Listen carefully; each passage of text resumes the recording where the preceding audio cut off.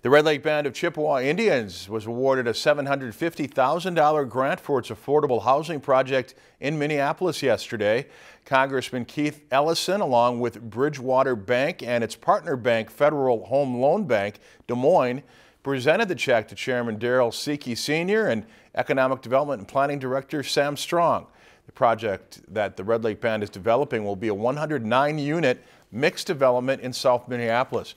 It will offer one, two, and three bedroom apartments, along with various other health service offices on the first floor, like the Red Lake Embassy office and a wellness clinic. This will be the first large scale and meaningful project the Red Lake Band of Chippewa Indians has ever done to support the off reservation members. If you enjoyed this segment of Lakeland News, please consider making a tax deductible contribution to Lakeland PBS.